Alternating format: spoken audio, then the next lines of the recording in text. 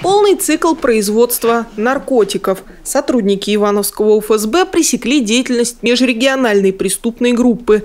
Установлено, что молодые люди на территории одного из населенных пунктов Ивановской области организовали лабораторию по изготовлению синтетических наркотических средств в особо крупных размерах. Здесь преступные дельцы производили и хранили синтетические наркотики, а после сбывали на территории Ивановской, Владимирской, Ярославской, Ленинградской и Архангельской Архангельской областей. В результате задержания указанных лиц с поличным деятельность подпольного производства пресечена. Из незаконного оборота изъято около 10 килограммов компонентов, из которых в дальнейшем планировалось получить 5 килограммов наркотика.